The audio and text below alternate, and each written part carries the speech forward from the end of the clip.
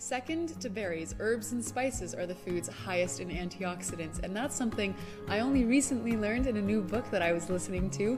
I'm totally a bookworm. I love and need to learn new things, especially in the realm of nutrition, but when it comes to books, I don't always make the time to sit and read, which is why I've been using Audible for years. It just makes it so easy because you can listen to a book no matter where you are, no matter what you're doing. So, this book I recently listened to is called How Not to Die by Dr. Greger. It's one of the most comprehensive books on health and nutrition that I've ever listened to. In one section, Dr. Greger, who's a physician, he talks about how we can make healthy foods even more wholesome by just spicing it up.